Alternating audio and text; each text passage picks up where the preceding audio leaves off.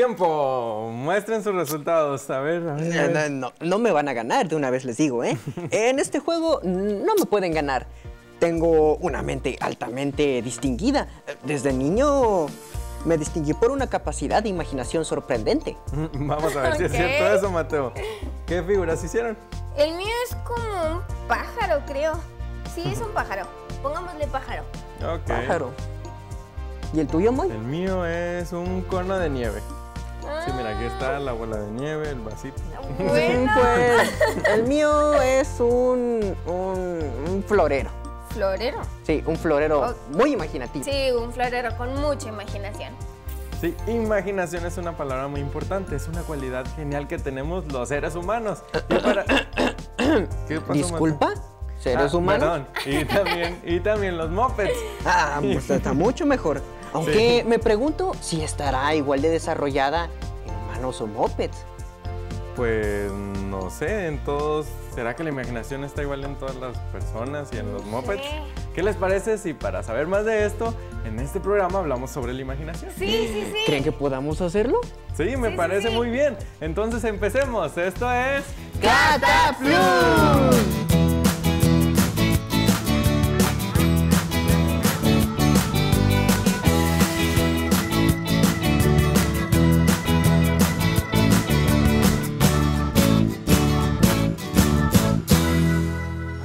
Saben, hay un concepto que me gusta mucho. Eh, Suena medio raro, pero es genial. ¿Cuál? ¿Cuál, ¿Cuál es? es? Aquí va. Pareidolia. ¿Pareidolia?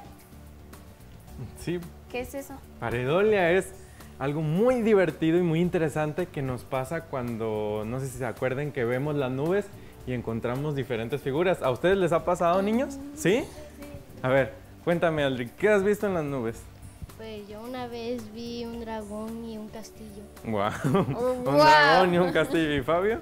He visto un perro y un gato. Un perro y un gato. Entonces hemos Muy visto cosas muy interesantes. Sí, sí, ya, ya entiendo. Sí, entonces es cuando nuestra imaginación nos ayuda a ver formas en montañas, en, en nubes, en telas, en cosas. Exacto. Texturas. A, a mí me encanta demasiado.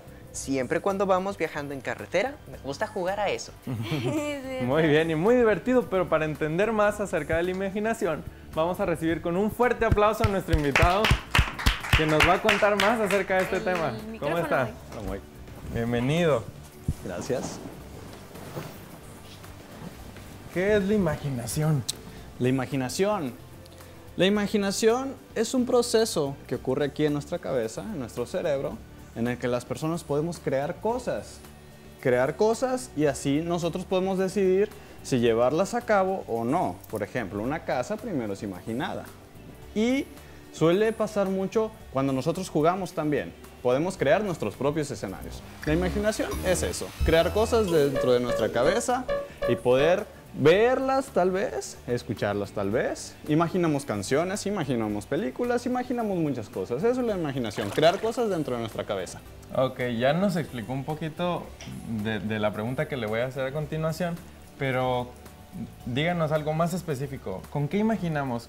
¿Con el corazón? ¿Con nuestra mente? ¿Con nuestro cuerpo? ¿Cómo imaginamos? Nosotros imaginamos con la mente, pero podemos recoger algunas piezas para armar nuestra imaginación con nuestros cinco sentidos, con lo que Ok. oímos, con lo que vemos, con lo que sentimos, con lo que olemos, etc. Ok, ¿y para qué podemos usar la imaginación? La imaginación puede ser útil para muchas cosas. Cuando necesitamos hacer alguna tarea, podemos usar la imaginación. Cuando necesitamos hacer, por ejemplo, una maqueta, cuando necesitamos tomar algunas decisiones, podemos usar la imaginación. ¿Qué es lo que puede pasar después de hacer esto? ¿Qué es lo que puede pasar si hago esto? Nosotros podemos imaginar las cosas. También nos puede servir para llevar a cabo alguna actividad, alguna tarea o resolver algún problema. Ok, Mateo, ¿tienes alguna pregunta? Oh, oh, claro. Eh, eh, Si tenemos un cerebro más grande, tenemos más imaginación. Y si tenemos un cerebro más pequeño, tenemos una imaginación más pequeña. No, yo creo que todos tenemos la misma imaginación. Creo que en eso no hay ningún problema. Oh, bueno. Pero a veces hay que explotarla, ¿verdad? Porque cuando crecemos a veces no queremos soltar la imaginación. Claro que sí. Y niños, ¿alguien tiene alguna pregunta? A ver, Fabio. ¿Nacemos con la imaginación o cada vez que crecemos adquirimos más? Mm, nosotros nacemos con la capacidad de imaginar. Y como había dicho, Moy, nosotros al ejercitarla podemos adquirir más imaginación. Ok, muy interesante. Entonces hay Sí. que trabajar con nuestra imaginación. Así Muchas es. gracias por lo que nos trajo hoy esta información y vamos a pasar a nuestro termómetro.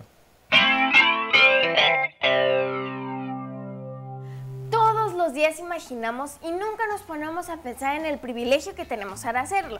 Pero para ver si aquí también quedó claro, voy a invitar a Maite a que por favor nos ayude y juegue al avioncito. Ok, en el cuadrito en el que caigo es el número de pregunta que te voy a hacer, ¿sale? Dale, dale.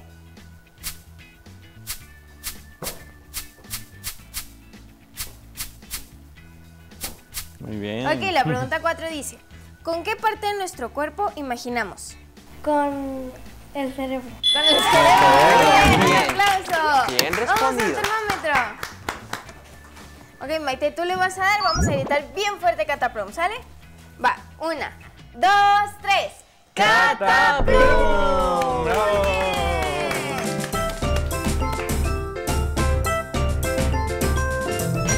Después de la explicación de nuestro amigo el psicólogo, eh, tengo la sospecha de que la imaginación es también un ejercicio mental.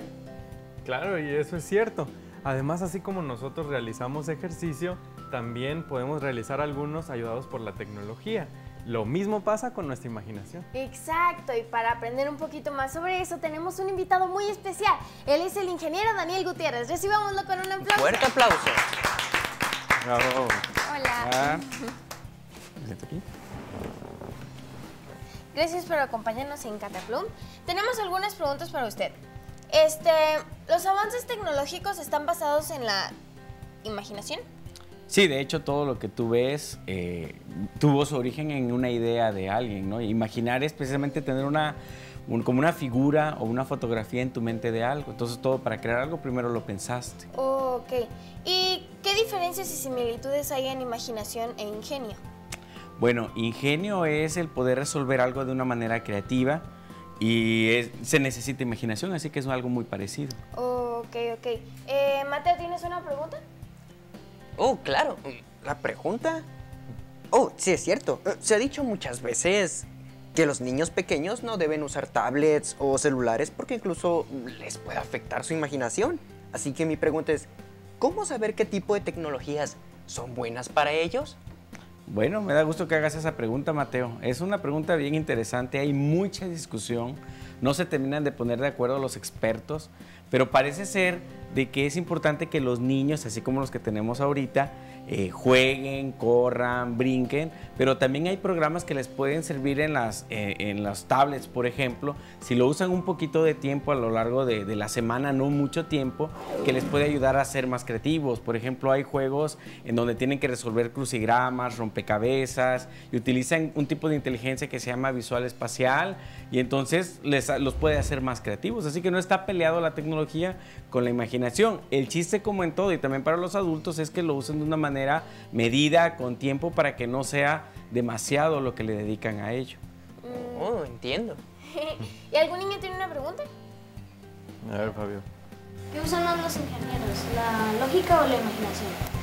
Ah, usamos mucho la lógica para resolver los problemas así del día a día, pero para crear nuevos productos y hacer algo así genial, sí se necesita mucha imaginación, Fabio. Así que las dos cosas tienen que ir de la mano. ¿Les gustó? Sí. ¿Y entendieron? Sí. Estuvo muy interesante, ingeniero. Muchas gracias. Así que vamos al termómetro número 2.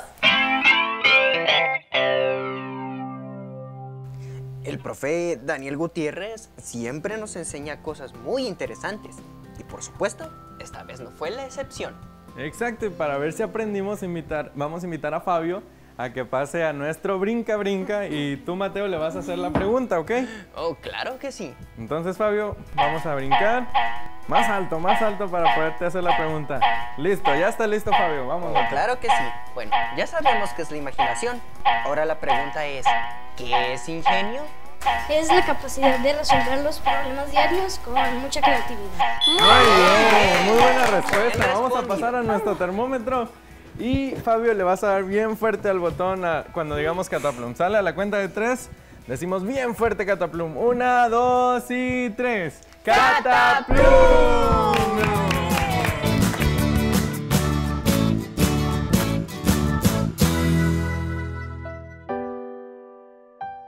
Porque quiero aprender.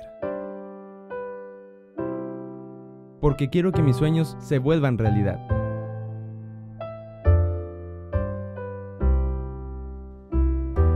Porque quiero descubrir.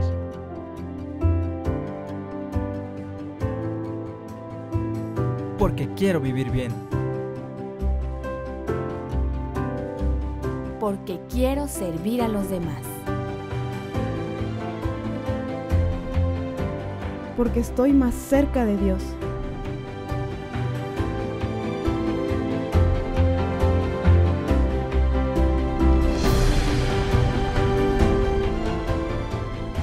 Porque queremos triunfar en la vida y más allá. Universidad de Montemorelos, la experiencia del conocimiento. Sabemos que lo que más te importa es el bienestar de tu familia. Por esto, hemos reunido diferentes expertos en medicina familiar, psicología, nutrición y actividad física. En cada capítulo nos resolverán dudas y nos darán recomendaciones para tener un estilo de vida saludable. Porque la felicidad y la salud de la familia no se improvisan. Aprende con nosotros en Saber Vivir. ¿Te gusta cocinar, pero te preocupa el valor nutricional de lo que preparas? Pues acompáñanos. En Piedra, Papel o Cuchara aprenderás sobre ello y descubrirás cómo hacer de tu cocina un espacio entretenido para ti y tu familia.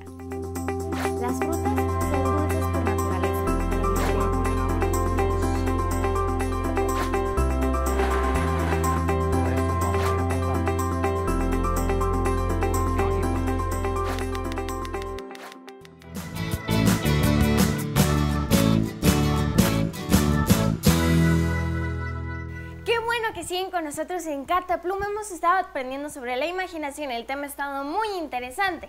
Vamos a hacer un experimento, pero para esto estamos con... ¿Cómo te llamas? Aldric. ¿Cuántos años tienes, Aldric? 10. 10 años. A ti ya te conocíamos, Fabio, pero ¿cuántos años tienes? 11. 11 años. A ti también ya te conocíamos, Maite, pero ¿cuántos años tienes? 12. 12 años. ¿Y tú cómo te llamas? Mayreli. ¿Cuántos años tienes, Mayreli? 12. 12 años también. Muy bien. Bueno, pues el experimento que tenemos hoy me parece muy interesante porque tenemos que echar a andar nuestra im- imaginación. Así que para eso tenemos unas tarjetitas, tienen unas imágenes que ahorita van a ver y a partir de las tarjetitas tenemos que construir una historia.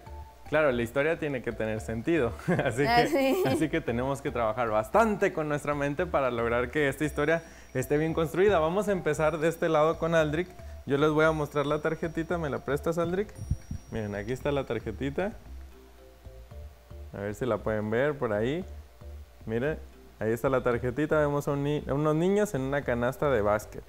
Entonces, Aldrich, cuéntanos cómo empieza esta historia. que estaban jugando básquetbol y les intentaron estar, pero se les atoró. Ok, se les atoró la pelota en la canasta. Fabio. A ver, Fabio, vamos a mostrar la tarjetita. Aquí está. ¿Ya la vieron? Yo creo que sí. Entonces, Fabio, cuéntanos cómo sigue la historia. Y luego para bajarla se hicieron una escalera con el perro arriba Ajá. y lograron bajarla. Ok, muy bien. A ver, Dana. Vamos a ver tu tarjetita. Aquí está la tarjetita. ¿Ya la vieron? Ok. A ver, cuéntanos, Dana. de qué- luego, Entonces, ¿qué pasó? se les volvió a atorar la, la pelota en la canasta y el niño le intentó bajar con un palito. ok, muy bien. A ver, por este lado. Con Maite. Aquí está la tarjeta. Muy bien. ¿Y qué siguió en la historia, Maite? Ah, te tuvo que subir a la niña en los hombros para poder tratar de bajar la pelota, pero no la pudieron bajar. ok. Y por último tenemos a Mayreli. Vamos a ver de qué se trata. Aquí está la tarjeta. Espero que, que la puedan ver bien. ¿Y cómo termina esta historia, Mayreli? que ya la pudieron bajar y luego siguieron jugando. Muy bien, muy buena historia la que pudimos construir hoy.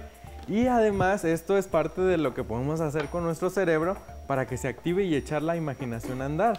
Si vemos imágenes y jugamos a que construimos historias, nuestro cerebro empieza a ser así y nuestra imaginación empieza a volar. Así que yo les tengo una preguntita, lo acabo de decir casi, pero ¿podemos hacer algo para que nuestro cerebro tenga imaginación, para que se active? Sí, más fuerte. ¿Podemos hacer algo para que nuestro cerebro se active y tenga imaginación? Sí. Muy bien, vamos a pasar a nuestro Vamos al termómetro. termómetro. Número 3. Y para esto vamos a invitar a Aldrich. A ver, Aldrich. Le vas a dar a nuestro botón del termómetro a la cuenta de 3. Todos decimos bien fuerte cataplum para que Aldrich le pueda presionar al, al botón. Vamos. Una, dos y tres. ¡Cataplum! ¡Bravo!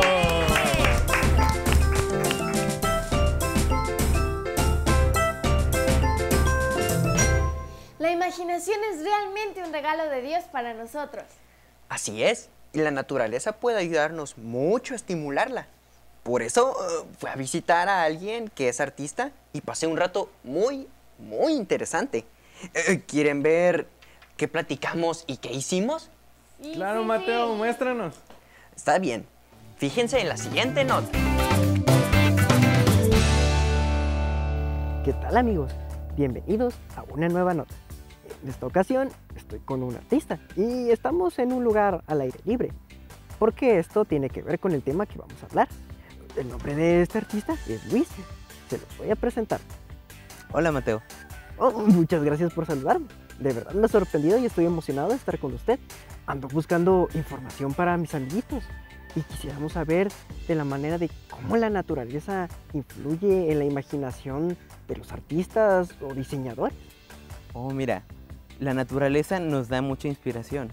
Cuando nosotros vemos los colores, el verde del pasto, el azul del cielo, el café o el rojo de la tierra o de los árboles, nosotros eh, nos podemos imaginar muchas cosas. Aparte, siempre podemos ver las formas que nos da la naturaleza. En la naturaleza hay formas geométricas, hay formas regulares, hay formas irregulares y hay muchos patrones y muchas texturas. Todo esto hace que cuando un artista va la- ve la naturaleza y sus ideas vuelen y sea más consciente de todo su entorno.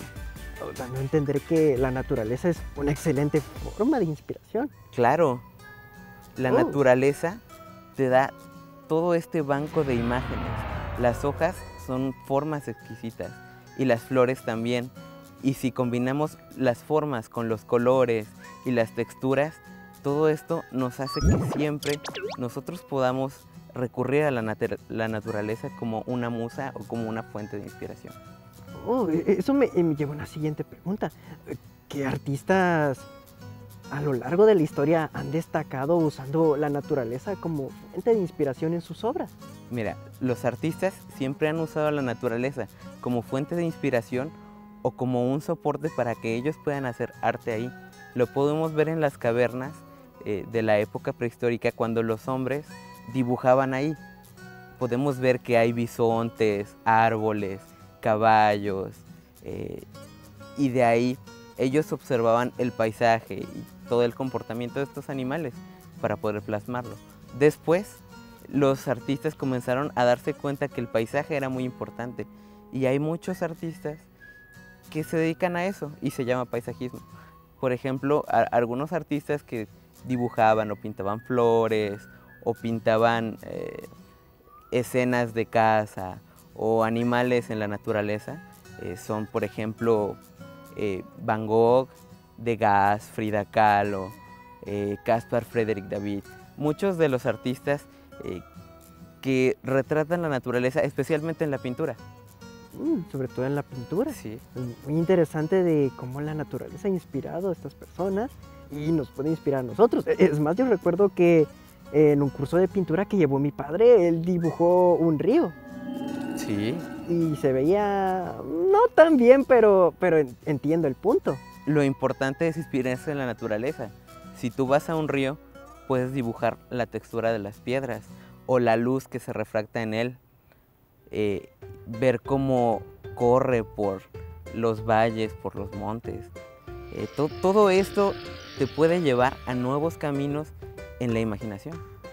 Oh, Esto es muy interesante y seguro nuestros amiguitos lo van a aplicar y esto me motivaría porque quizás fuera un artista. Claro. Muchas gracias por estar con nosotros en esta, not- en esta nota. Eh, ¿Me permite estrechar su mano? Sí, Mateo, nos vemos. Ok, bueno amiguitos, nos vemos en el estudio. Hasta luego.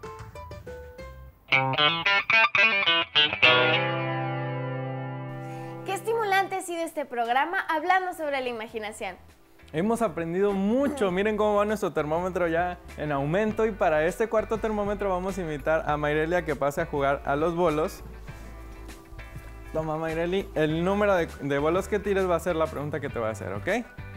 Dale, una, dos y tres. Ok, la pregunta tres. número tres dice...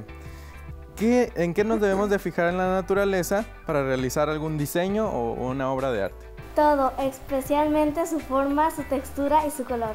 Muy bien, un aplauso. Vamos a pasar Vamos nuestro termómetro. termómetro. Y tú le vas a dar al botón Mayreli cuando digamos Cataplum, pero pues tenemos que decir Cataplum a la cuenta de tres. Bien fuerte, Mateo, ¿sale? Ok, una, dos y tres. ¡Cataplum! ¡Bravo!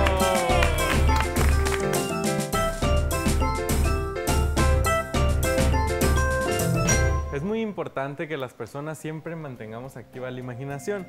Un consejo que tenemos es que lo que imaginemos, los proyectos que imaginemos, los imaginemos ya realizados. Eso va a hacer que nuestra actitud sea más positiva. Sí, no en vano Dios nos diseñó con esta capacidad que nos hace únicos y diferentes al resto de los seres vivos. Así es, y para eso tenemos una invitada especial y es la maestra Jocelyn, que nos va a hablar un poquito más sobre eso. Recibámosla con un aplauso. Fuerte aplauso. Hola, maestra. Hola, ¿cómo están? Bien, bien. ¿Qué maestra? Hola qué, chicos, perdón. buenos días. ¿cómo ¿Qué están? historia tiene para nosotros hoy? Bueno, eh, saben, venía yo caminando y de repente en mi bolsa me encontré con esto. ¿Qué es esto, chicos? Muy bien, una bola de plastilina. Y me hizo pensar en algo muy importante. ¿Qué se les ocurre a ustedes hacer con esto? ¿Qué harían ustedes con esta plastilina? Un muñequito. Un muñequito, muy bien. ¿Qué otra cosa podríamos hacer con esto? Un animalito, muy bien. Un, Un delfín, delfín. muy bien, exactamente. Saben, Eh, todo esto me hizo pensar en nuestro creador, en Dios. Cuando Él nos hizo, hagan de cuenta que Él tenía como una pequeña plastilina y Él empezó a crearnos a su imagen y Él empezó a hacer al hombre, a la mujer, a los animales y a diferentes eh, cosas que hay en esta tierra, ¿verdad? Por ejemplo, aquí en la Biblia podemos ver en Génesis 1.26 dice, entonces Dios dijo, hagamos al hombre a nuestra imagen, conforme a nuestra semejanza, y que domina los peces del mar, las aves del cielo, el ganado y todo animal que anda sobre la tierra. Y creó Dios al hombre a su imagen, a imagen de Dios lo creó. Hombre y mujer los creó.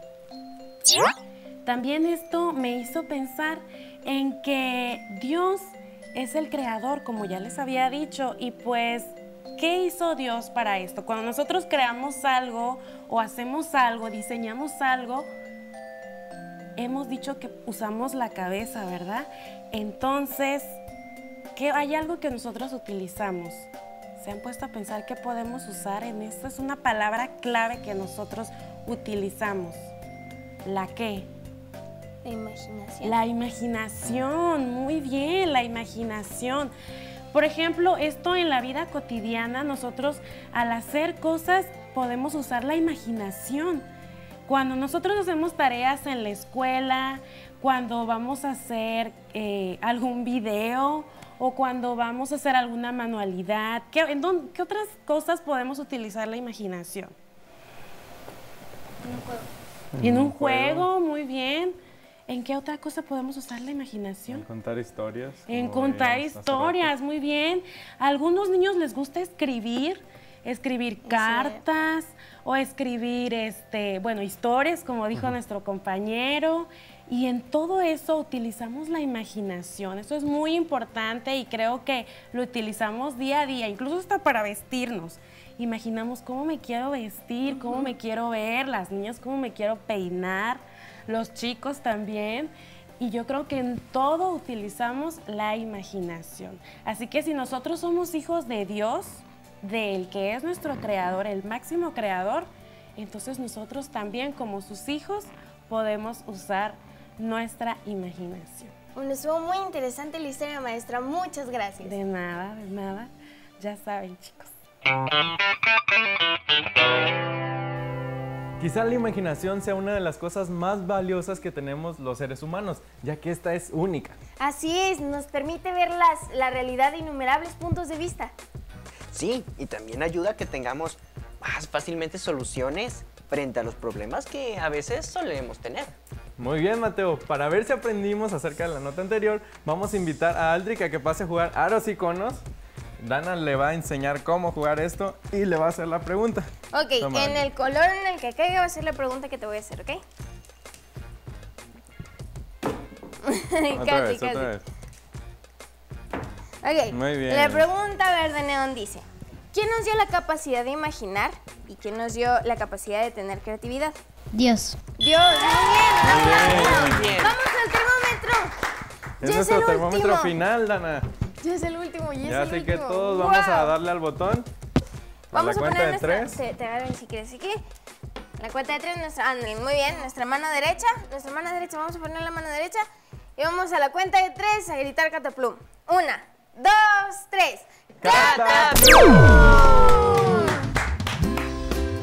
Esperamos que todos tengamos muy en claro esto. Dios en su infinito amor nos da un cerebro capaz de imaginar y crear muchas cosas. Así que esta habilidad la debemos de usar para hacer cosas buenas y además para ver cómo contamos el amor de Dios a todas las personas. Invitamos a que nos acompañe en nuestro próximo capítulo. Esto es Cataplum. Casi me la comí.